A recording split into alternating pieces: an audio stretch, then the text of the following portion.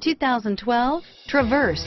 Chevy Traverse is more stylish than minivans and far more fuel and space efficient than truck-based SUVs. Crossovers like the Traverse are excellent family vehicles.